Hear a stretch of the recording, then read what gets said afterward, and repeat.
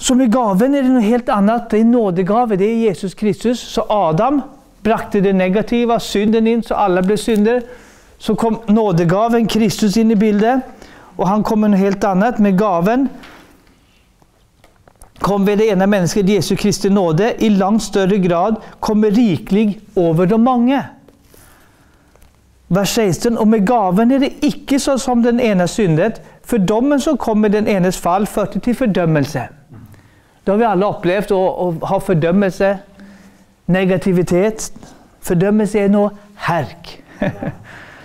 Det är något skit, för att säga det på svensk. Vilken är ni det? det är, fördömelse är ingen höjdare. Och jag tycker det är så bra. Lars deltog en gång och Jag har en vän från Norrland som har sagt också, på engelska heter det condemnation. Och när vi har haft en bil som börjar bli dålig, den är så, så, det är ingenting att ha längre, då sänder vi den på kondemnering. Stämmer inte det? Då ska den knusas. Så det är engelska ordet för fördömelse. Så fördömelse, det är ute efter att knusa oss, ta livsgnisten ifrån oss, ta begeistringen ifrån oss. Det, det är vad fördömelse gör. Det är ute efter bara, det är bara plagsamt. Därför är det så gott, i Kristus finns det ingen fördömelse. Han fördömer ingen. Han bara uppmuntrar människor, lyfter människor hela tiden. Är inte det bra? Ja, jag tycker i alla fall det är bra. Det är väldigt positivt. Så, så, så Jesus kom icke med fördömelse, men synden förde till fördömelse. Men nådegaven som kom efter de mångas överträdelser, det förde till rättfärdiggörelse. Så nådegaven gjorde att du blev rättfärdiggjord. Det är ett annat tema som vi har pratat om tidigare. Vad är rättfärdiggörelse? Det är inte din rättfärdiggörelse, det är inte självrättfärdighet och se hur duktig jag är, se vad jag får till. Nej, det är hovmod och stolthet.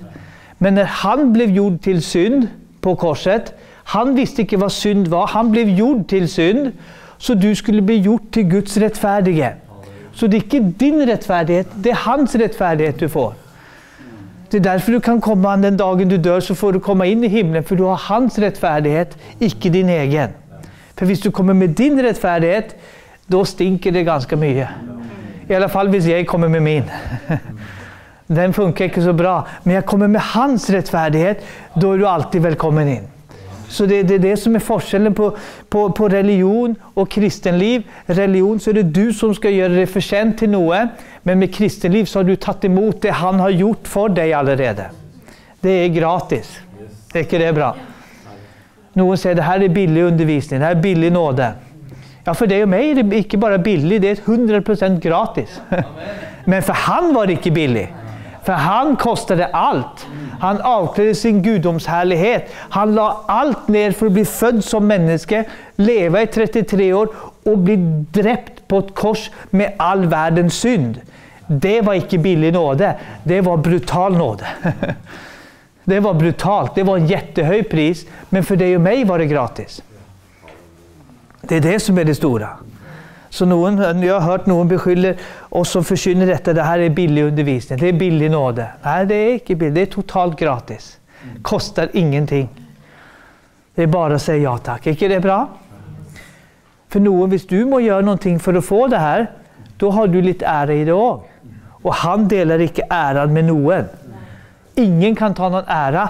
Han vill ha 100% allt samman. Men så står det vidare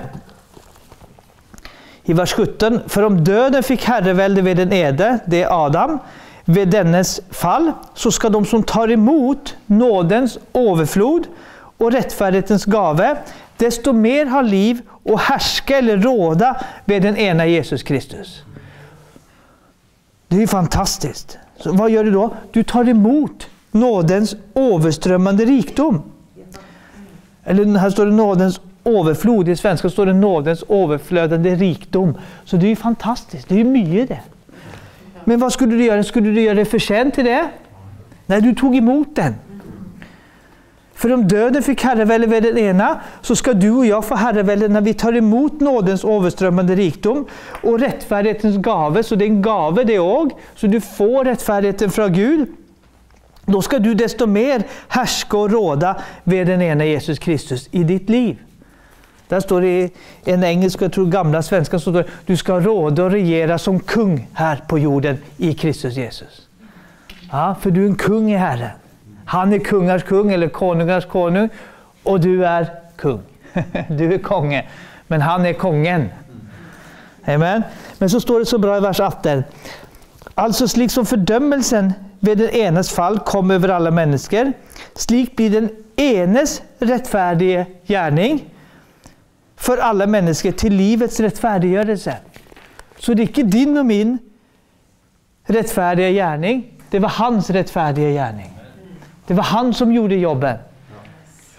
Så det är kun han som kunde göra jobben, det är kun han som kunde betala prisen. Det är kun en som kunde uppfylla alla bud, regler och krav. Kun en som kunde uppsluka allt det här. Det gjorde han. För att ge dig och mig frälse, hälsa, som vi snackar om, helbredelse. Kommer mer och mer in på det efterhvert. Helbredelse för vår kropp och vårt sin. För det var han som gjorde alltsammans. Så står det vidare i vers 19. För slik som de många blev stilt fram som syndare vid det ena människans ulydighet, slik ska också de många bli stilt fram som rättfärdiga vid den enes lydighet. Så hans, hans rättfärdiga gärning och hans lydighet gör att du och jag kan stå fram för han som rättfärdiga och lydiga på grund av han. Varför tar jag med de tingen? Jo, för det är viktigt att veta att vi, fördömelse må väck. För mycket av sjukdom har med fördömelse att göra. Mycket av, mycket av plager har att jag är inte god nog. Vad har Gud för tanke med det här? Tänker Gud det här? Nej, Gud älskar dig 100% som psyk och som frisk. Han älskar dig, punktum. Amen. Han är glad i dig vad som än sker. Det är jätteviktigt. Det viktigaste på denna jord, för Jesus kommer igen, det är att bli född av Gud. Sen, sen tror jag det är OK att ha god hälsa också. Det är därför vi har ämnet helbredelse också. Vi har sett massa mirakel senast igår på, på Gessheim. Men eh, det kommer ske ännu mer. Vi tror det ska ske mycket framöver. Vi har sett blinda se, döva höra, lamma gå i mängder i de 30 jag varit förkynner. Och det är inte för att jag är speciell. För jag kan inte helbreda en flue med hodepin ens en gång. Jag tar en fluesmäck och slår ihjäl han. det är vad jag gör med fluor. Men, så, så det här är inte att se, att se hur speciell jag är, hur speciell Lars är. Nej, det är Jesus som är speciell. Så det får väck blicken från oss, få upp blicken på han. Amen? Är ni det? Ja, och det, det, är så lätt. Och så, som jag sa i starten så har vi mycket erfarenheter, vi har tvil, vi har vantro, kanske undervisning som bygger på konstiga ting i Guds ord. Att Gud kanske har en plan, kanske Gud vill lära dig något med det här, kanske Gud vill något sånt. Så, så har vi många ting som, är, som stoppar Guds kraft för att få flyta. Och därför är det viktigt att få väck fördömelsen. För Gud fördömer dig icke. Gud älskar dig. Gud är på din sida. Är inte det bra? Som jag delte sist gång jag tog på nu i helgen. Och att Gud är den som har frigjort dig, friköpt dig och rättfärdiggjort dig. Och han ber för dig nu. Och vad tror du han ber? Att det ska gå dåligt för dig? Så när han ber för mig varje dag så säger jag, Åh far jag ber att det ska gå dåligt för Micke. Jag hoppas han ska ha en superdålig måndag. Att, att, att när han vaknar, att han ska vakna dåligt och lägga sig dåligt. Nej, han ber inte så. Nej, nej, Gud ber ju att Micke ska ha det gott, det är det han ber för mig. och det har jag för mina barn också. Jag har tre barn, 21, 18 och de är mycket barn, de är ungdomar. 21, 18 och 13. Och vi ber ju inte för de fruarna att det ska gå dåligt för dem. Men någon dagar har de dåliga dagar. De har det. Och det har jag också ibland. Men, men, men mitt önske och min bön är ju icke att de ska ha det. Är vi eniga i det? Är det någon som är förälder här? Någon av oss. Hur många av er önskar att det ska gå dåligt för barnen? Jarle. Du tränger förbön Jarle. Ingen, alla vill att det ska gå bättre för barnen än det har gått för dig själv. Stämmer inte det? Det är vad vårt önskar. Så Guds hjärtelag, vad Gud önskar, han önskar gott för oss. Sen lever vi i en ond värld. Vi upplever onda ting, negativa ting. Alla har upplevt det. Många problem har den rättfärdige, säger Guds ord. Men Herren räddar honom genom alla ting. Så vi får smällar, vi får ting som vi upplever. Och någon gånger sjukdom, men där tror vi ska få se mer och mer Guds helbredande kraft. Är vi eniga i det? Vi ska få se att det lättar, att vi ser mer av Guds kraft. Vi får se mer den första menigheten ska ta lite senare, men jag känner att jag må bara ta det med en gång. Den första menigheten, så, så, så, så, var det så mycket kraft, för de hade akkurat gått med Jesus i tre och ett halvt år. De hade blivit delegerat kraft, de tolv disciplerna, de 70 disciplerna. De gick ut och de helbredet alla. Bara 20 fall på dem så blev de helbredet. Så i menigheten, och nu snackar jag inte om menigheten här i Skandinavien idag, men då, då fanns det ingen psyke i menigheten. Men jag är sjuk, har varit sjuk, säkert du också. Men i den meningen fanns inte sjukdom. Det var därför de gick ut på gatorna, så kom de fra de som ikke var i menigheten och blev helbredet. Så de kom från bygderna runt omkring, så Peter bara gick och skyggen fall på dem och alla blev helbredet. Dit tror jag vi är på väg òg, för Jesus kommer igen. Det ska vara så mycket uppståndelseskraft som du och jag har på insidan, att vi känner att samma kraft som uppväckte Jesus från de döda bor i dig, som Romarbrevet 8.11 säger. Samma kraft som uppväckte, icke något sämre, icke något mindre. Det är samma dynamiskraft, dynamitkraft som uppväckte Jesus, som bor i dig. Och vad är min jobb då? Min jobb för min del, det är att förlösa den så att den kommer ut på utsidan och som försvinner och hjälpa dig som det du har på insidan, att du gör detsamma. Och om vi som menighet, alla som är troende, börjar göra detsamma, så börjar det bli en kraft som är fantastisk. Så när menigheten kommer samman så är det förväntning. Vilken är det? Ja, vi får se. Ja, du är på om det sker någonting idag. Nej, vad är det, vad är det som kommer att ske idag? Vad, vad, vad ska vi uppleva idag för någonting? Känner du forskaren? Huskar jag snacka med min gammeltant i, i Philadelphia, Stockholm på, i starten av 1915 till 1920, 1925. När det var lite tryck i kyrkan. Fortsatt tryck, men det, då var det då var Smith Wigglesworth där bland annat i 1921. Då kom det från ett psykhus för obotligt psyka, så hade de psykhus för vanlig psyke. Men för att det obotligt psyke som de inte kunde fixa så kom en på ett möte och blev helad, blev helbredet. Så dagen efter blev Levi Petrus, som då är någon som inte vet vem Levi Petrus är, så är det han som startade pinsebevägelsen i Sverige i starten av 1900-talet. Han och Smith Wigglesworth blev inviterade då dagen efter till psykehuset för obotligt psyke och på 45 minuter var 21 utskrivna. Det är ju ganska bra. Det har inte jag gjort ännu, men jag, jag drömmer om det. Jag har inte kommit dit än. Men varför inte? Det, nu kör vi.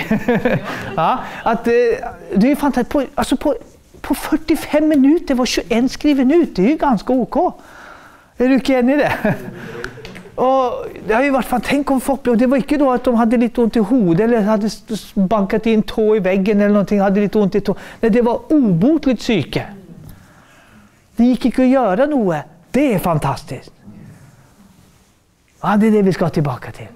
Va? Vi ska tillbaka till originalen, helt tillbaka från starten. Vilka är ni det? Sen har vi många ting som vi har, ting med erfarenhet och ting som vi också ska plocka bort lite efter vart. Det må väck så vi kan se han mer och mer. Så upphavet till sjukdom, och det här är viktigt att ha med sig, att, för att det kommer från fienden, kommer från djävulen, men det betyder inte att man är besatt om man är sjuk. För det är någon som säger det, det, det är inte riktigt. Det finns sjukdomsmakter som kan besätta människor, ja. Men är du frälst så kan du inte vara besatt. Har du sagt ja till Jesus så kan du inte vara besatt. Men man kan vara som frälst så kan jag vara plan, man kan ha en vanmaktsånd, man kan, eller vann, sån här, vet du, icke vanmaktsånd, vad heter det? Motlöshet, har du upplevt det? Har du varit motlös någon gång? Frykt, men det, det sätter sig i själslivet. Frykt, motlöshet. Stämmer inte det? Och Gud har inte gett oss fryktens ond, står det. Gud har inte gett oss motlöshetens ond. Han har gett oss kraft, sinnets ond. Och kärleksånd. Ja? Så vi kan uppleva det, men du kan inte bli besatt som frälst. Det är jätteviktigt. För det är någon som säger det. Sen kan man kanske uppleva att det är som en besättelse i huvudet. Självklart kan vi be för det och sätta en fri från det. Men som person så är det Jesus som bor på insidan. om man kan bruka det ordet så är det han som har besatt dig. Det låter lite rart, men du är besatt av Gud, men det är mycket bättre. så det, det uttrycket finns inte, det var mitt eget uttryck. Du är besatt av Gud.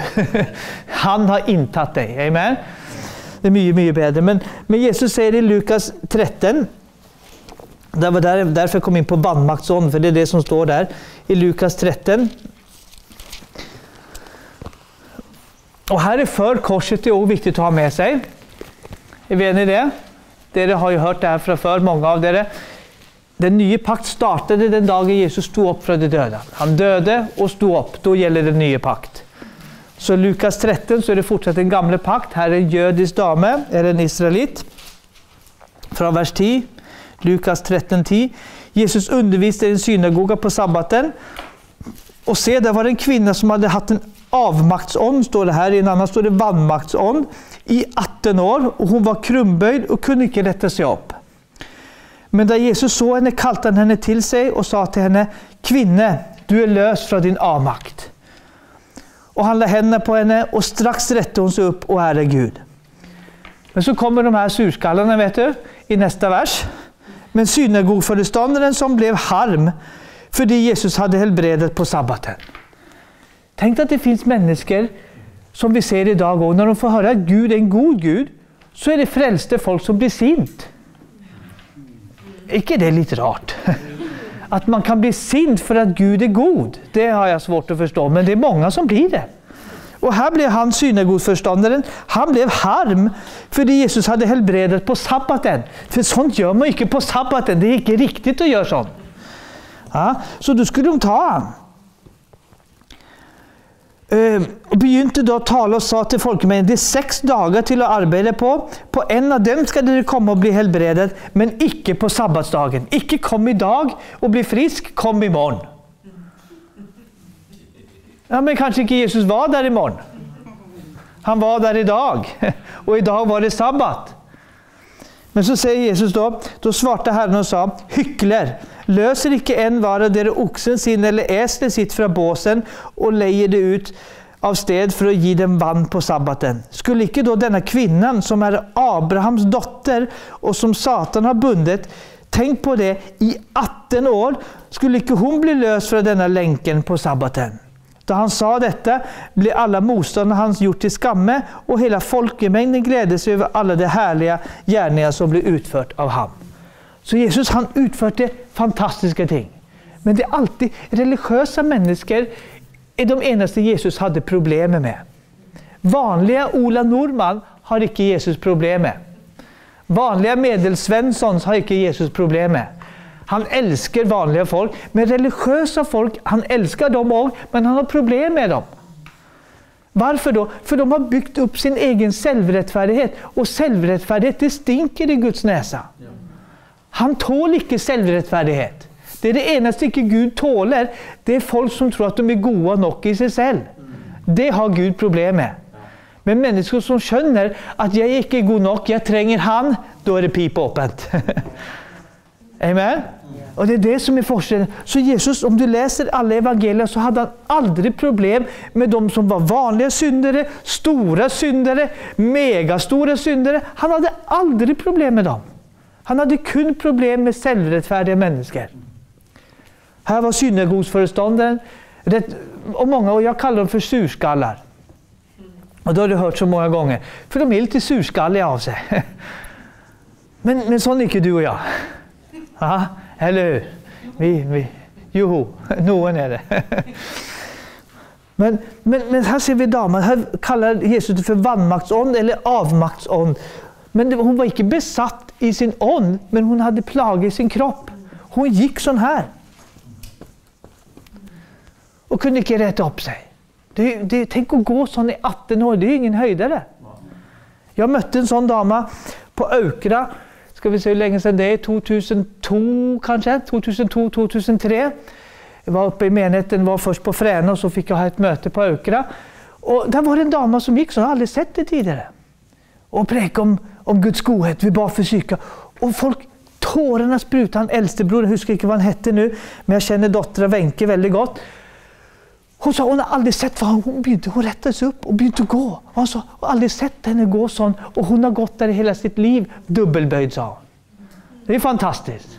Hon fick lösa damer och fick rätta upp sig. Det var på Aukra, så det gick ju så långt härifrån. Det är bara på andra sidan kölen. ja. Men hon gick på samma måte, sträckte på sig och begynte gå. Fantastiskt. Ja. För du blir löst från sin plage. Varför? För Jesus älskar, och om du läser evangelierna så älskade Jesus speciellt att göra under på sabbaten. Och jag tror det var för att han lite att plaga, lite reta upp dessa religiösa människor. Han lite och tärga dem lite. Att det är så upptatt av bud och regler och krav, så därför gör jag det extra mycket idag bara för att det, det, ska, det är inte det det hänger på. Jag älskar människor. Det är det Jesus gjorde. Jag älskar folk. Sen var det sällskap på sabbaten. Varför sker det mycket då? För då kommer folk samman i synagogan. Så det var ju, det var ju samlingsdagen. Så sällsamt så var det lätt att, att, möta människor och Jesus gick som sin vana var till synagogan på lördagar. Vi går till, som vanan till kyrkan på söndagar. Ja. Så, så det var det som de gjorde. Därför var det alltid mycket folk på sabbaten. Men jag tror Jesus likte att helbreda extra mycket på grund av det. Ska vi se till en ting till, Markus 3. Så ser vi att sjukdomen icke är från Gud. Det är också som Lars har sagt någon gånger i det sista, både här och andra städer, som vi ofta säger, Jesus är, Guds, är bilder på vem Gud är, stämmer inte det? Han kom och visade oss vem Gud är, vem Gud fader är. Är vi eniga i det? Ja. Ser vi något sted i evangelien att Jesus gick och plagade någon? Ser vi något sted att Jesus och Marit, här får du en liten sjukdom från mig för du ska bli välsignad med den.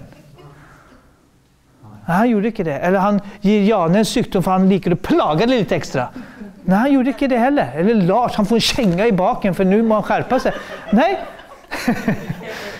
Jesus, Jesus gjorde inte det. Han plagade inte folk. Han la inte negativa ting på folk. Han la inte fattigdomsbyrder på folk. Han löfte människor bara. Är ni det? Han är en god Gud. Och det, det trenger Örje få höra, det trenger Marker kommuner få höra, det trenger Norge och Sverige få höra. Då tar vi en break.